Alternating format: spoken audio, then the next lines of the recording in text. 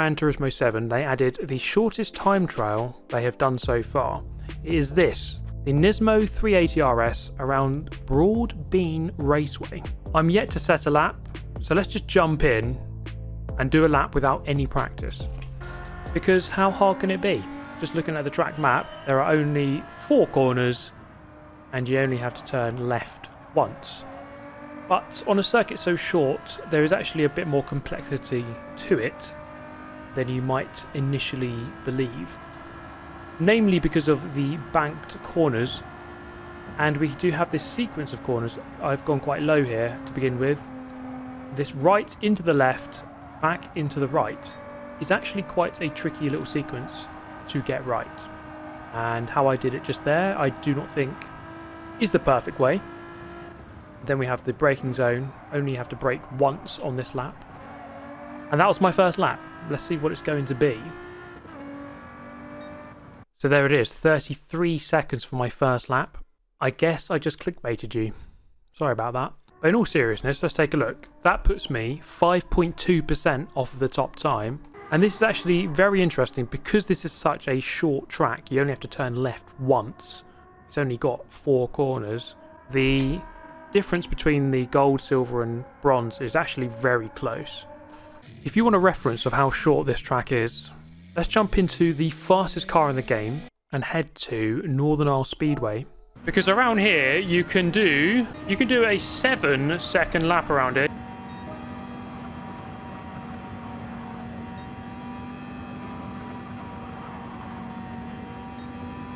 Broad Bean Raceway is actually the second shortest track in the game. Let's see how quickly you can do it in this car.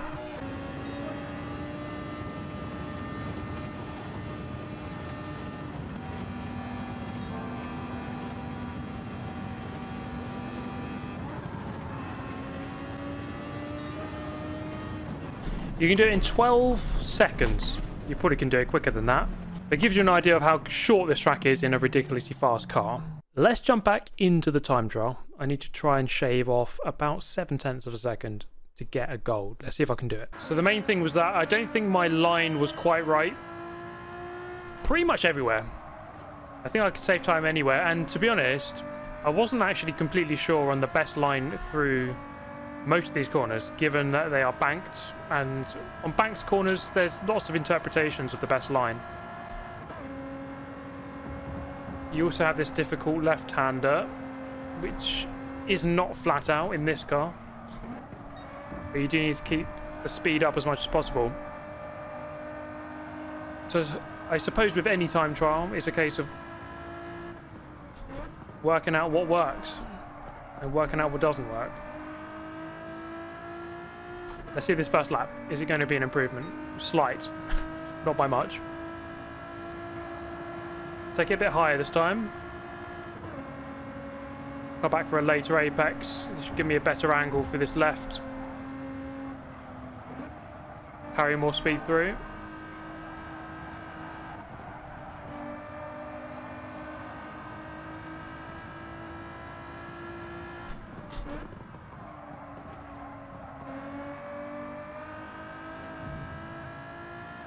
Slight improvement again. Let's see if we can get a 32. I should be able to. Oh, there goes the ghost. Let's try and hold this very wide. Until the last moment.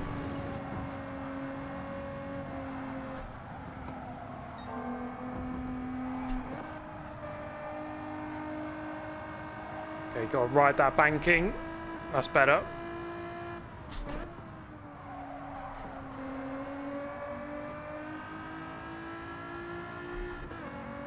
And a better exit. So that's a 32.9.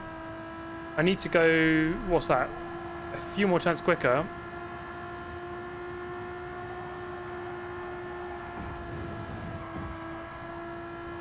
Get really close to that wall. There we go. That's much better. And you've got to be brave here. Believe that the grip will come through the bank's corner.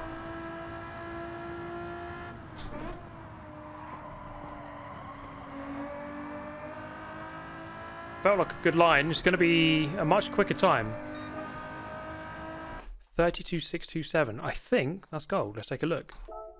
And it is. 32.627, within 2.78% of the top. Amazingly, I'm still 9 tenths of a second away from the number one time in the world. So I guess it only makes sense to go and watch this top time and see what we can learn. Okay, right, first corner. Goes in actually very narrow. Comes back up in fourth gear the whole time. Comes back down for that late apex. Over to the right. Slight lift through the left. Rotates the car with a gear shift. Back on the power. Braking just before the 75. And you do actually go low there. I'm right up against the wall. You can see just as the car comes off of that apron at the bottom, it just slightly rotates and it gives him the turning angle he needs. And then, oh my goodness. I mean, that's pretty impressive. That just shows you the precision required to get a top time. So we're going to have to really practice this late entry into this corner, that left.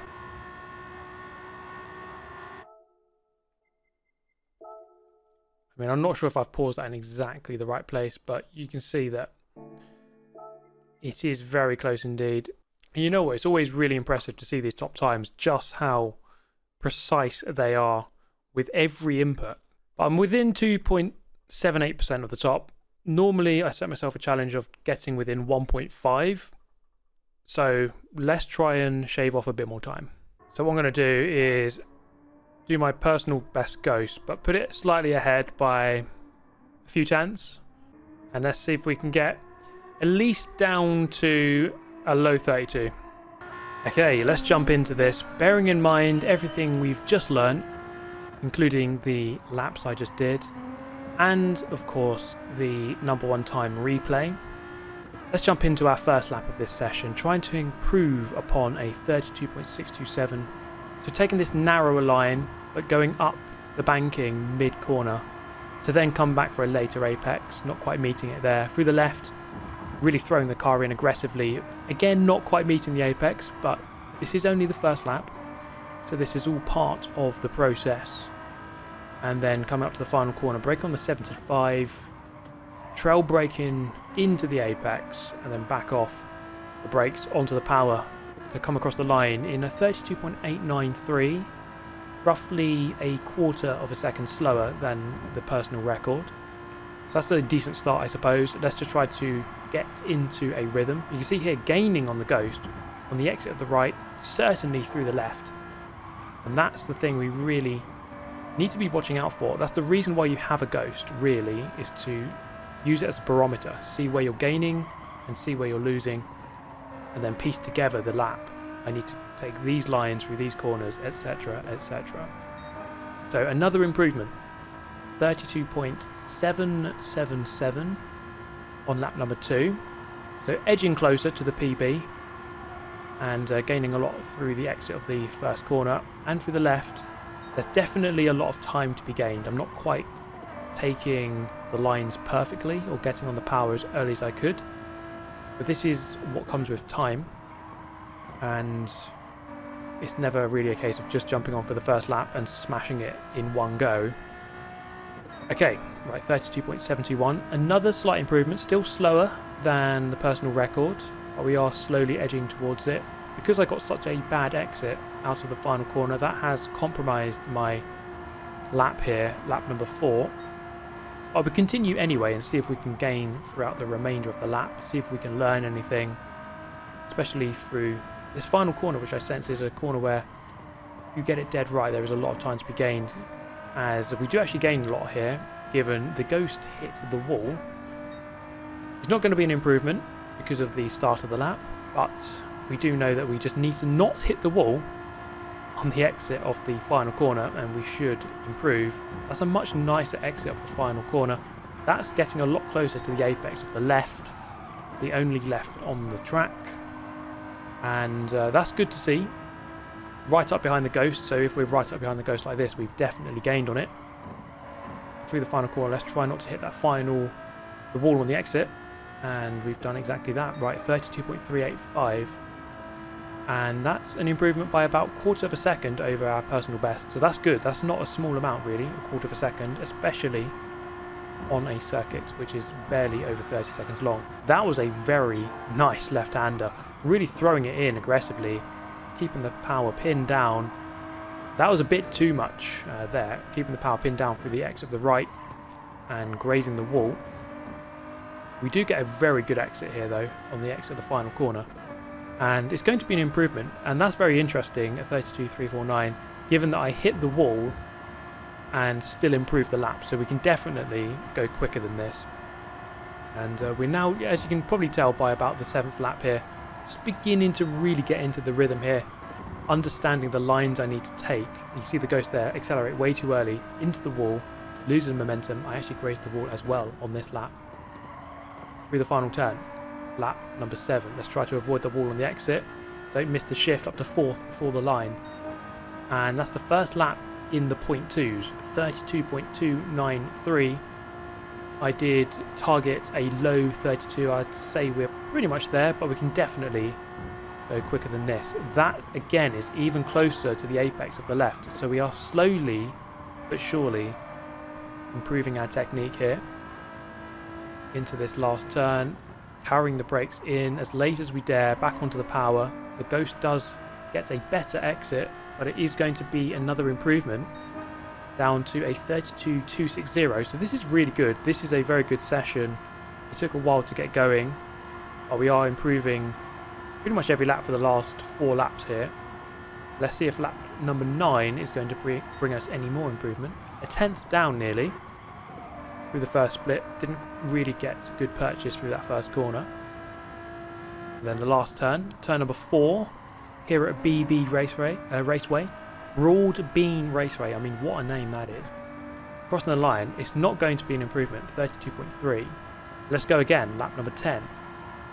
Again, riding high, looking for those two green markers on the wall, then coming back down to touch nearly that green apron on the right hand side that really gives you a good angle into the left where you can carry so much speed through. Trying to ride quite low on the banking here through turn number three. That was an okay line, but we are slightly down here by half a tenth into turn four. That was a very nice line through the final corner. Quite happy with that. It is going to be an improvement once more. 32.233. Chipping away slowly but surely. And this is going to be the the story here. Around BB Raceway such a short track the the differences are going to be very very small indeed.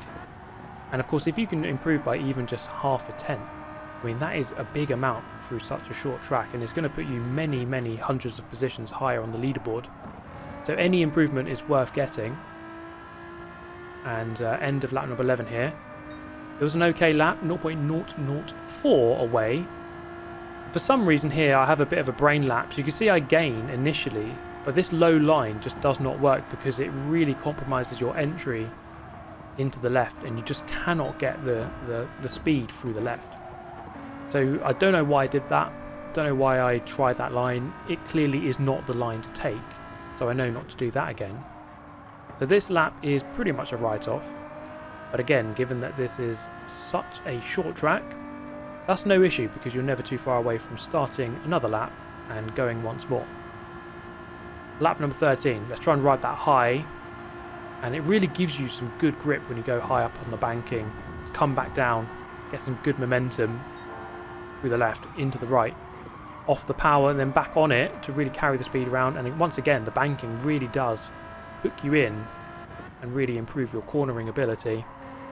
And through turn 4 it was a good lap. It was a very tidy lap. It's not going to be quicker, but it's going to be a 32.241. This is good consistency here. So many laps now, which are 32.2s. And so good consistency around about our record pace. This is a good sign. Definitely continue here. Another purple sector through sector 1. Let's see if we can hold this through to the end of the lap. One corner left to go. Easier said than done, of course going in about half a tenth up definitely closing up to the back of the ghost avoiding the wall on the exit and it is going to be an improvement 32.163 the first lap we've put into the point ones but I know there's still more time to come It might not be much, but there definitely is some room for improvement. And that was very close. The left-hander just getting a bit more brave with the the laps passing by. Just just really refining our technique and our turning in points and our braking points to really get close to the walls. And you really do have to maximize every millimeter of the circuit if you really want to shave off those not even tenths, we're talking hundredths or thousandths around a track so short. That was not the line to take there. I don't know why I did that. And um, that's going to really compromise my entry. And coming off of turn one into the left of turn two, into the entry of turn three, that sequence is very important. If you get the exit of turn one wrong, your line through two and then your entry into three is completely off. So you do have to get that sequence correct. So that is a 32.4 and that is now considered a bad lap. So that definitely shows that we are making some inroads here into this time trial. At the beginning of the time trial I could barely do a 0.7 so that is good news. Into the right, just riding the apron at the bottom, let's see if that really helps. Maybe not. Didn't really give me the grip I would have liked. Into turn 4, going very narrow there. So this lap was really one where we ran onto the apron at the bottom. It didn't really help me. But we're not going to completely rule out that possibility of it improving our possible lap time. Riding the banking high, very important. That's something we're learning here. I mean, we call it BB Raceway. B could stand for banking. It could also stand for barrier collision. So we're going to whip this forward here and um, go to the next lap where we're going to serve this penalty. So yes, that lap is a write-off. You can still maybe learn something on that lap even though we're serving the penalty. Let's make sure we try and get a good exit here to restart the session and go once more. So lap 19 and lap 18, we can kind of forget about those. Let's try to get back into the rhythm. And I must say that this time trial, I really enjoyed it because it was such an unusual track. BB Raceway is one that just really doesn't feature much in this game at all. You don't really see it a lot.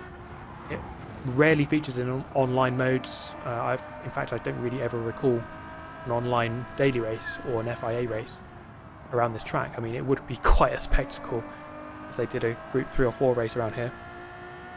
But um, in the time trial here, 32.044. For the first time into the zeros, very close to a 31. Let's not forget that the best time in the world is a 31.74. So we're about three tenths away from that. Not too much, but on a on a track so short, you know, let's scale that up to maybe a 1 minute 30 lap time. We are still about a second away on a normally sized uh, track. So, end of lap number 21. This is going to be a 32.1, and like we spoke about earlier, we are slowly but surely improving what a bad lap time is. So a 32.1, and that's now a bad lap time for me. Whereas earlier on in the session, I was struggling to get a 32.1. So that definitely shows improvement. We are understanding what is required to get this Nismo car around this track as quickly as possible. And this is really just a top tip. Gran Turismo, you just got to put the laps in and just pay attention to what is working and what is not working. And if you just keep driving the same line and it's the wrong line, then you're just never going to improve. But this is, I think we've settled on the right line. It's just about really absolutely nailing it to the absolute millimetre. We're in that phase of the time trial now. Carrying some good speed on the exit there. And are we going to improve? Not quite, but we are very, very close here with the Ghost. On the exit of the final corner. It's not going to be an improvement here on lap number 23. But it is going to be a 32-0 once again. So that's good consistency. That's our second time into the zeros. Let's see if we can do it again as we come down low at the exit of turn 1. Throw the car in, get as close to the wall as we can, carrying the speed through. Didn't quite get the angle on the way into turn 3 as we would have liked, but it's not a bad lap. Half a tenth down here into the final corner. It's going to require a miracle get that back. We come close actually, we do actually gain a few um, hundredths there and actually that lap ends 0.00 away from being the uh, record. So we're getting close. Three laps now. into the zeros, going purple, just really, really pushing the limits now of the circuit, of the car, and we're getting close to what really is our limit. Into the final turn, lap number 25 of this session. We've been going for nearly 15 minutes. Across the line we go, 32.1. That was a bad lap. We grazed the wall on the exit of the final corner. That is going to compromise this lap. But we're still going to continue and see what we can learn. You never know, you might nail every corner from here to the end, and it could still be an improvement. So you should always continue as we ride high, back on the power. More than a tenth down here into the final turn. Let's see if we can get a good exit here and set up lap number 27. Let's see what we can do then. Crossing the line, that's a 32.1. Pretty much a bad lap now. Let's go again. Ride high, look for the two greens. Come back down, look for the big green apron on the exit. Get close to that. Throw the car in before the gantry. Get close to the wall, really hammering the power. Turn the car in, down to third gear, back to fourth, back on the power. Really ride that banking to give you the grip. Braking on the 75, trail brake in, carry the speed in, back off the brakes, back on the power. That is an improvement. Let's see what it's going to be. Get in there, Lewis. 31.9. It took me 15 minutes there to do that. Whew. How many laps did I do there? 27 laps. So in fact, how many people have actually got a 31? Let's take a look. 262, and I'm one of them. I'm pretty happy with that. I've got to say congrats to this number one time. It's two and a half tenths. It's about a quarter of a second quicker than my time, and on such a short track, that is a big difference. I gave this one a good go. I mean, it only took about 20 minutes here, but that was a really fun time trial. And you know what? I think the time trial feature on Gran Turismo 7 is pretty good at the moment. At the beginning of the game, it wasn't actually there. But now that they're adding one every week, they last for two weeks, I think it's a really good part of the game. And this was a good time trial. It was a good car around an interesting circuit, Broadbean Raceway. It's not really a track that features much in the game.